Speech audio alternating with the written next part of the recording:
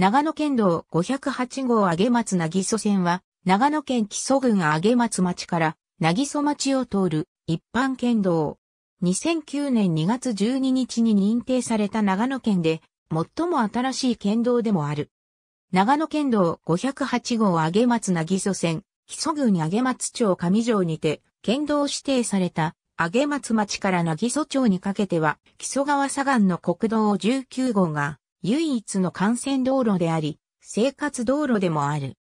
高速道路が並行しない、この地域では、国道19号は基礎高速と呼ばれるほど、大型トラックなどの交通が激しく、交通事故等により、国道19号が全面通行止めになった際には大回りな迂回を余儀なくされており、住民の生活に大きな影響を与えていた。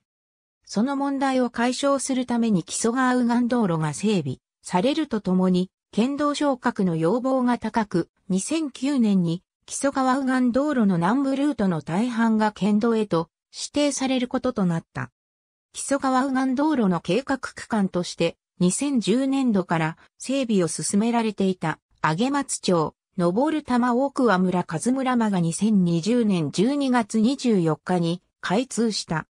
寝覚めの床、木曽川右岸道路一般県道上松なぎそ線、上松町、登る玉多くは村は村間の共用を開始します。長野県、2020年12月24日閲覧。ありがとうございます。